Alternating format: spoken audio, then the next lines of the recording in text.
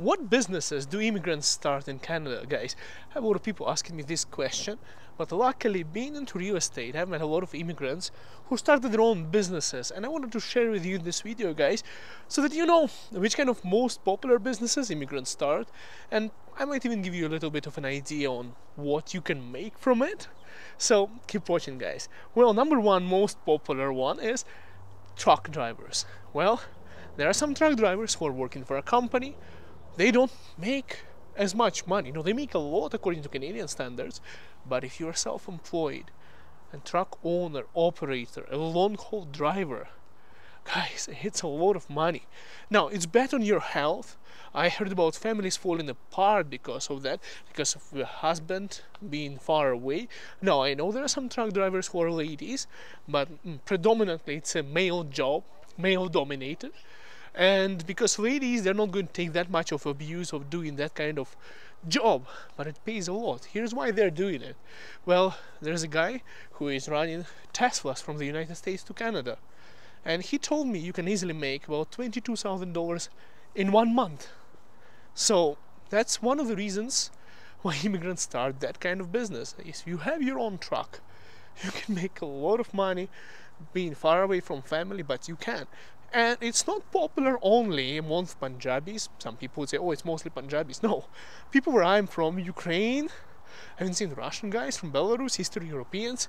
For some reason, we have that similarity. We all like to make a lot of money like that. But anyways, what is the next occupation? That's pretty simple. I was going to do it myself. I almost got licensed to become an immigration consultant. I did immigration law, I studied immigration law in Canada, but I decided not to become one. But that's an intuitively really interesting profession because people who came to Canada figured out the way how to get it done. They were like, why can I not help others? They would get the licensing, it's only one year to study. I spent about $10,000 for studying right now it's about 15 or 20 thousand dollars to get the studying done. You get the exam cleared you open a bank trust account and voila you're an immigration consultant licensed. You can represent people. Now you can help other people. Like you helped yourself when you came to canada. Really honorable job. Pays pretty well. I know consultants who make as low as $60000 a year or as high as $180000 a year a lot of money you can make by doing immigration consulting. And if you have your own business and you have a bunch of people working for you, you can scale it up even more. So really interesting, guys. Profession. Now, of course, it doesn't end the list of people who are immigrants doing jobs. I think one second most popular after the truck drivers, maybe even the first one, would be construction. Journeyman. Also, a lot of people from my country are there. I mean, electrician, plumber, carpenter, you know, all of those occupations, drywallers. You know why you work outside? In fact, when you come to Canada, when you start, it's like difficult to find jobs, right? Well, right now it's not. Right now there is shortage of labor. But in the past, when there was unemployment, when it was difficult, construction was still booming here in Calgary, for example. So a lot of people would be like, "Hey, I'm going to be doing construction job. They join, they start off 20 bucks an hour, half a year later they're already making 22, then they become apprentice, they become an apprentice, uh, uh they sign up for apprenticeship to become a journeyman, so it's like having a license to do that. They would study for it every year, doing the exams. It's like three or four years sometimes the program takes so you study and while you're studying you're getting paid and then you go to school for, for a month or so, and while you're in school, you're getting paid by the government for going to school. So, in short, you start off with a lot of money comparatively to other occupations, office occupations, and in a very short span of time, you become licensed, and now you can either work for companies making 30, 40, 45 bucks an hour, or you can start your own business, your own company, roofing, what, whatever, electrical, and whatever you want to do. A lot of people from my country do windows and doors because it's just easy and it's a lot of money in it. You'll find a lot of people from my country doing that. Anyways, you make a lot of money from it and you have your own business. So I would say probably majority people from where I am from would go into construction and truck driving besides people from North India, they also like becoming truck drivers. For some reason, that's kind of our cultural similarity, I guess. And next part about it is, no, this one is huge. People coming from Philippines, from China, from India, Peruvian people, like from everywhere, even African guys. They come here and they're like, hey, look, there's something missing. Like, some part of my home country is missing. And then they start a business that is a restaurant business and I've seen people running around. Unfortunately, some of them give it up, and they just start a pizza shop because like Canadians like to eat pizza a lot. It just you you, be, you know if you watched my videos, guys, in the beginning when I was skinnier and now I'm gaining weight, I have to eat less pizza. So basically, a lot of people are starting businesses like that, and they just bring part of their culture into Canada, and everyone can enjoy their cuisine, and they provide jobs and it pays really well. Some people are a little bit lazy, they would just buy a bunch of McDonald's or Tim Hortons franchises or the easiest one I think it's Subway, but I heard it doesn't pay much. I might be wrong.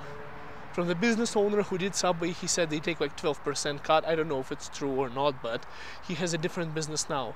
Guys, as I'm telling you, I'm making this video based on my experience of the people that I spoke to, the people that I know how they are doing. Now, another popular occupation guy says, Well, guess what I do for a living right now? And that is a business, it's real estate. So, a lot of immigrants go into real estate. Here is why you should go into real estate. I'm a realtor here in Calgary, Alberta, with EXP Realty, helping a lot of people buy houses, sell houses. There is a house coming up for sale on Monday. I'm doing an inspection on a property. I'm getting myself a third mortgage tomorrow. So there's a lot of interesting things. I'll tell you more about my house later on. I'm doing expanding my equity in Canada. Anyways, so here's what happens with, with, with real estate. You might be from Lebanon, Lebanon huge Lebanese uh, community, huge. You might be from Sri Lanka, huge community. Philippines, huge. Turkish community. Oh, it's not so big in Canada. Do you really know how many Turkish people we have in Canada?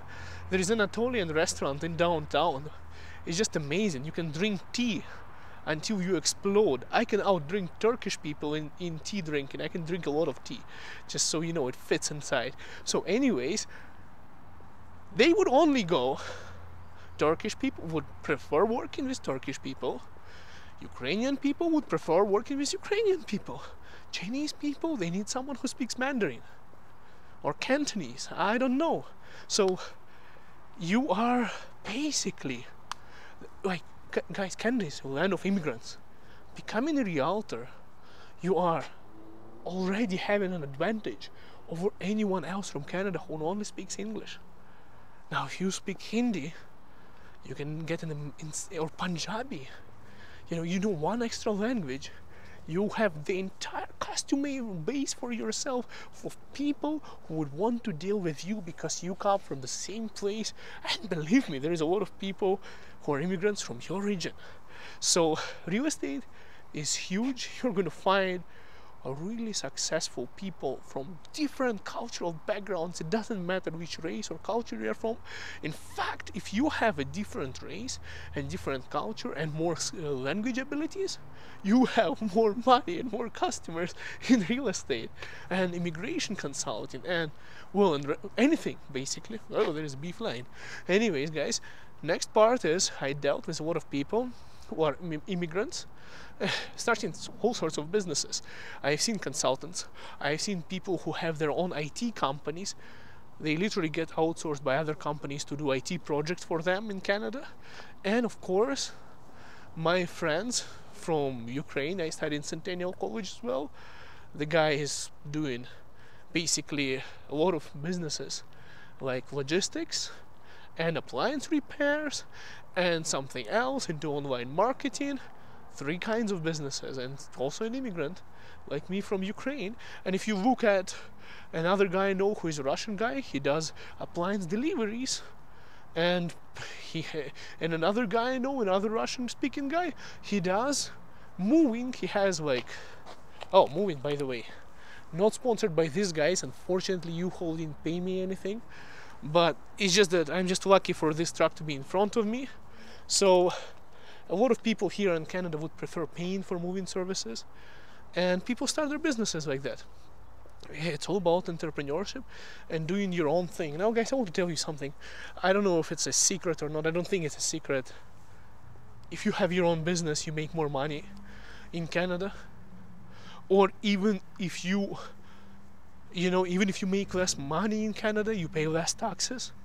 If you own your business i mean if you make same amount of money you get to keep more. Because canadian legislation is built in such a way that you know you cannot write off your vehicle expenses if you're driving to work.